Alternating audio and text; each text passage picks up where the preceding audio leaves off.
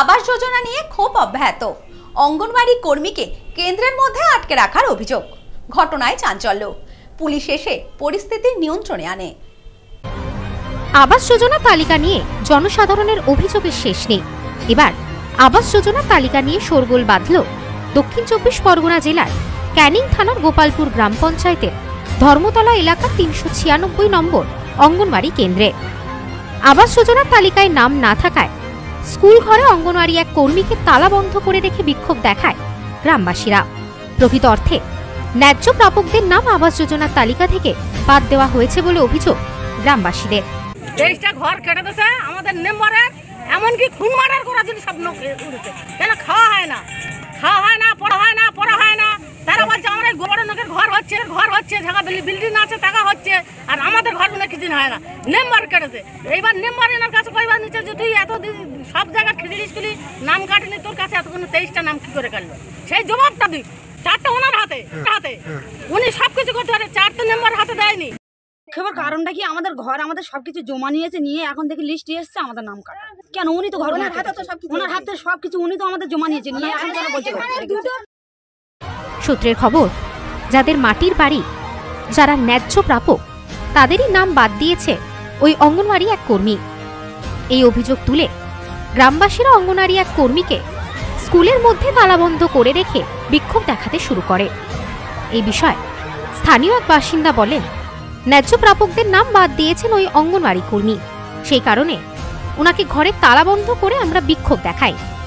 BDO আমাদের আশ্বাস দিয়েছেন এবং তিনি বলেছেন ন্যায্য প্রাপকদের নাম নতুন করে তালিকায় যুক্ত করা হবে। সেই কারণেই আমরা সাময়িকভাবে এই বিক্ষোভ তুলে নিয়েছি। কিন্তু পরিস্থিতি ঠিক না হলে আমরা পরবর্তীতে আইনের সাহায্য নেব। নে সেই ঘরে আমাদের ঘর কেটে দিয়েছে। আমরা ঘরে কাপড়দার নই। আমাদের ঘরের অধিকার আমাদের নেই। ওই তৃপ্তি আমাদের ঘর কেটে দিয়েছে। আমাদের ঘর ন্যায্য কথা আমাদের দিতে হবে। আমরা না তো ওই দিদিমণি একদম সাসপেন্ড চাই আর ও না তো আমাদের হাতে তুলে দিচ্ছে আমাদের লিস্ট লিস্টে প্রতি বছর লিস্টে নাম আছে ঘরে প্রত্যেক সার্ভেতে আমাদের লিস্টে নাম আছে আইডি নাম্বারও আছে তাহলে এবারে দিদিমণি আশা দিদিমণি সার্ভে করেছে নাম এসেছে সেই নাম দেখা অবস্থায়। সবার ঘরে আছে তেইশটা ঘরের নাম কাটা যাচ্ছে কার যুক্তি শুনে। তবে সে যে তেইশটা ঘরের নাম কাটাছে সব পাড়া তিরপলার ঘর ছিটেপলার ঘর মাটির বাড়ি আর যত সব সাতফলা ঘর গাড়ি বাড়ি আছে তাদের সব ঘর- ঘর এসছে।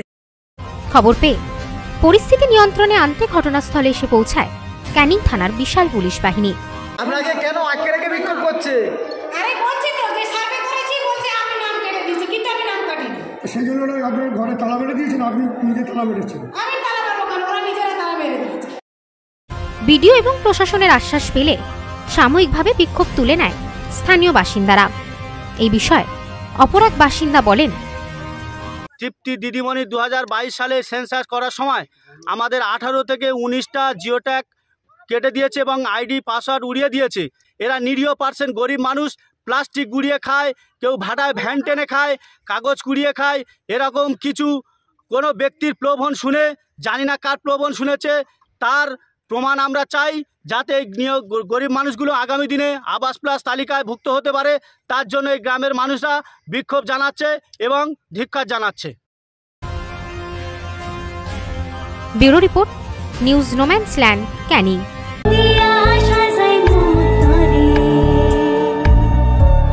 সৌন্দর্য শাড়িতেই। সঙ্গে রয়েছে আদি মোহিনী মোহন কাঞ্জিলা